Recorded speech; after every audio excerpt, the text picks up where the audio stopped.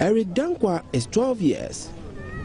In spite of all these toxic fumes and gases in Agbogbloshie, is trying to make ends meet for his family.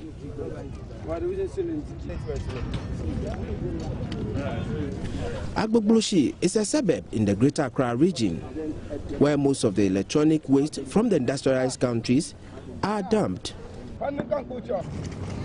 Eric has to ignore being a child and take up responsibilities as an adult.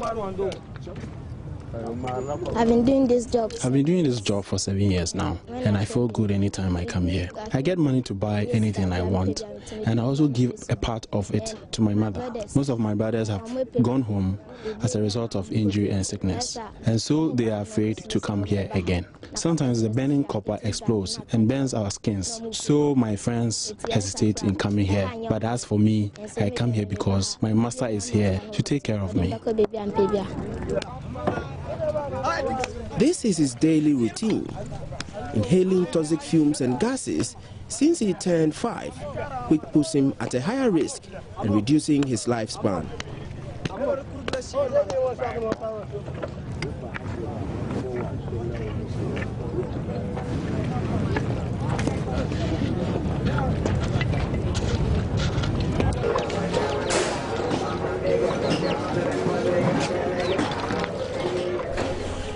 Nickname is Dadia Please, literally meaning metal please. This is because he dares to go to the most dangerous places and search for metal scraps, which is also referred to as dirty gold. They are sometimes assaulted by their adult counterparts. A lot of my friends go to steal somebody's goods, and when they come, they beat all of us mercilessly. Sometimes our masters intercede on our behalf by paying a token. But my friends who are drug addicts still go back and steal. So if you are unlucky and your master is not available, you have no choice but to endure the beatings once again.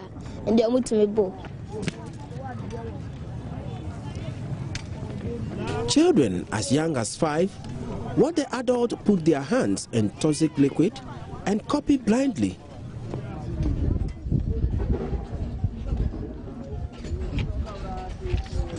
Few of his friends have fallen sick as a result. Others get deep cuts, sometimes resulting in deaths. Eric's friend Kwame has been hurt many times, and he shows us some of the scars on his body.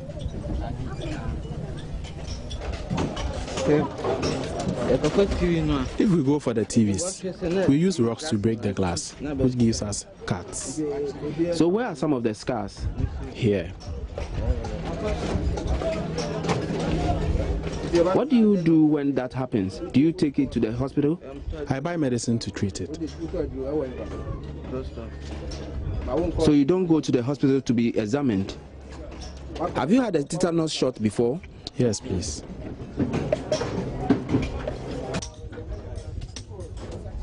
Karim narrowly escaped death in this dangerous work, which he says cannot be a job for little children like Eric. In year 2007. In the year 2007, we went to dismantle a big metal in the bush and we started loading it into a cargo truck. I was on top of the car packing the things when I started moving backwards with the metal. my back, so I don't know. Say I, I, I reached on end of the car. Not knowing, I was at the edge and realized I was falling, so I stretched to hold on to something in the truck, which gave me this car. Catch my hand. That's. The reason why we stopped from uh, from my hand. Many of these scrap dealers come from low-income earning communities in Ghana, compelling them to risk their health in their bid to improve their living conditions.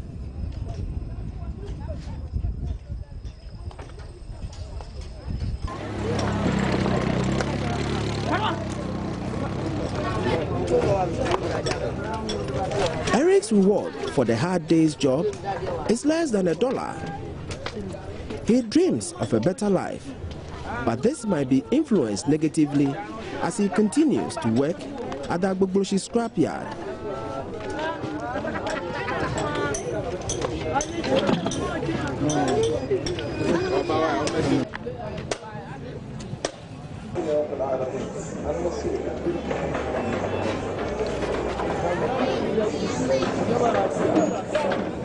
I want to be accountant in my future. I want to save this money to pay my school fees so that in future I'll be my accountant. It might even get worse. He may not live long enough to fulfill his dream. The Meta Police is ready for school, but because he's so tired most of the time, he often goes to school late.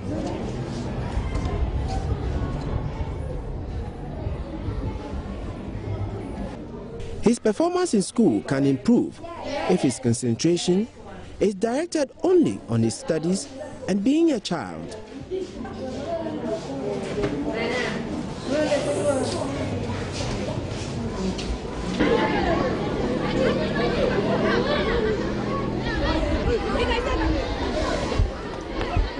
This is the only time of the day Eric gets to act like a normal child.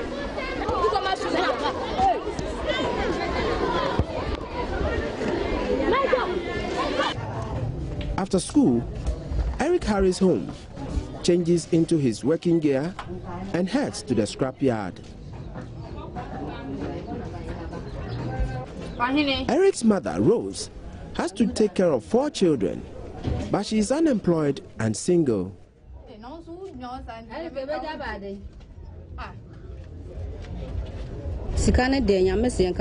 God bears me witness. As for the money, it helps me. Sometimes he gives me some. Now I have waist pains as a result of my hawking. So sometimes I am unable to go the next day. He gives me five or ten cedis. The work they are engaged in helps us all, but the school that he is unable to concentrate on is my worry. I have tried encouraging him to go to school, but because of the money he earns there, he plays the truant, and I cannot afford that kind of money.